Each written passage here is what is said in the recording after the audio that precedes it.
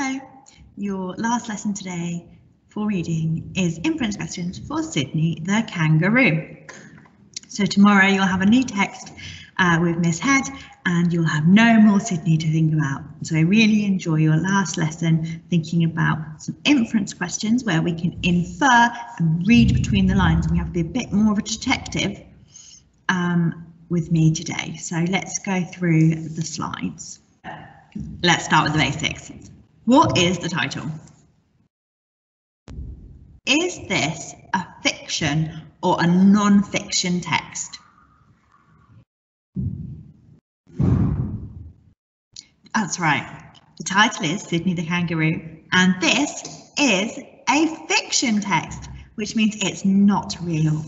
This is a story.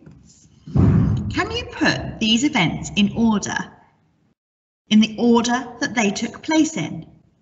I'll read them to you first. They meet some dingoes. Sydney goes to sleep. The bright light made Sydney blink.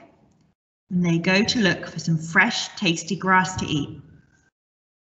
Which of these events took place first, then second, then third, and then last? Pause this video and see if you can put these in the correct order. Welcome back. Yes. So the first thing that happened in this story is the bright light made Sydney blink. And that was when he was just a young kangaroo.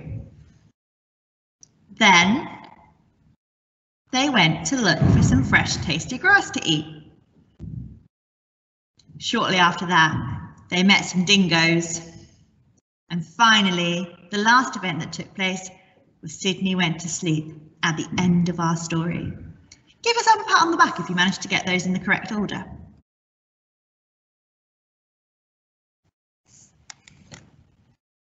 Hi, two. So let's play jump in with our book, Kangaroo, or should I say, Sydney, the kangaroo. Sydney the kangaroo.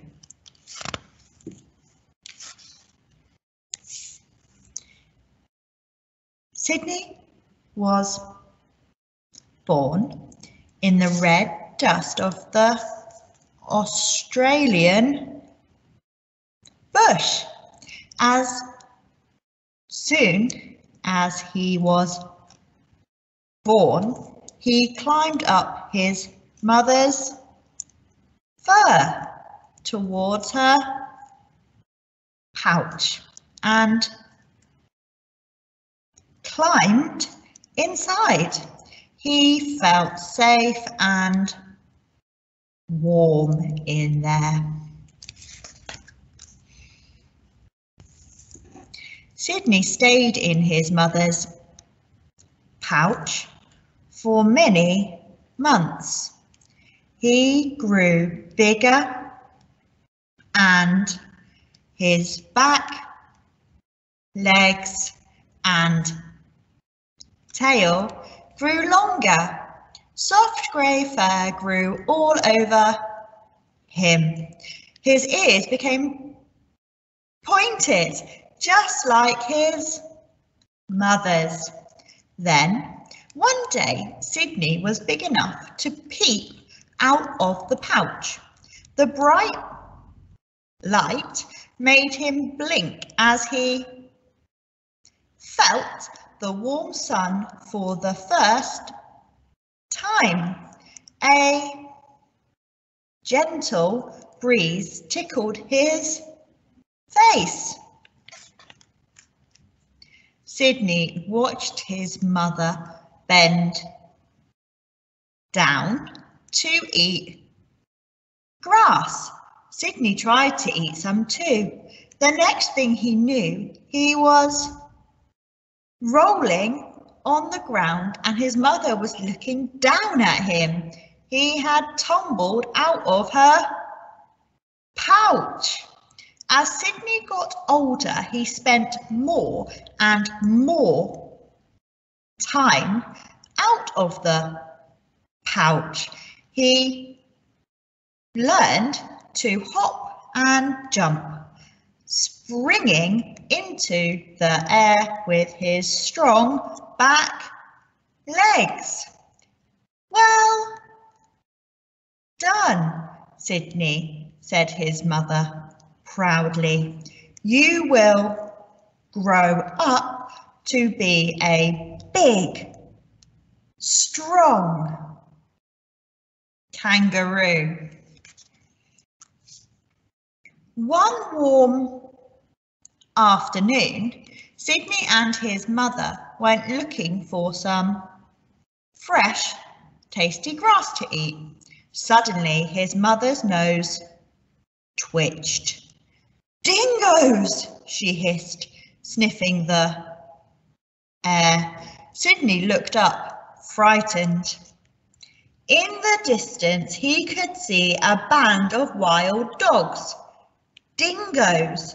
They looked fierce and hungry. Sydney dived into his mother's pouch. He trembled when he heard the dogs begin to howl. Sydney's mother stood still. She hoped the hungry dingoes would not see or smell her, but they came closer and until she knew she had to get away. Hold tight, she whispered to Sydney. Then, with great flying leaps, she bounded away through the... Sydney was afraid he might fall out, but his mother had tightened her pouch, so he was safe. Sydney peeped out and saw the dingoes close behind, howling and snarling. Run, mother, run, he cried. Sydney's mother ran as fast as she could, but she soon grew tired. She knew she would have to stand and fight. The dingoes closed in on her, trying to bite. She kicked them and scratched them and kept them away from little Sydney. Just then, a great buck kangaroo appeared. He was a giant of a kangaroo with a creamy chest and a broad red back. He thumped his tail on the ground when he saw the dingoes and then he leapt at them. The dingoes were so frightened of the great buck that they ran away. Then the great buck smiled at Sydney and bounded off into the haze of the late afternoon. In the cool of the evening, Sydney curled up in his mother's pouch, safe again. Soon I'll be too big for your pouch, mother, said Sydney. Yes, soon you'll be a big, strong kangaroo, just like the great buck, replied his mother. Sydney closed his eyes, went to sleep and dreamed about fighting dingoes. I hope you got stuck in to jump in. It's time to work through one inference question before you go off and answer the questions yourself. So read the question, underline the keywords, find the evidence, reread the question and check that you've definitely answered it. This should be becoming quite familiar to you by now. So read the question. What does a gentle breeze tickled his face mean? Underline the keywords. Gentle breeze, tickled, face, mean. What does that mean? Find the evidence. Then one day Sydney was big enough to peep out of his out of the pouch. The bright light made him blink as he felt the warm sun for the first time. A gentle breeze tickled his face. A gentle breeze tickled his face. Sentence starter. A gentle breeze tickled his face means, hmm, what does that mean? It means the wind touched his face.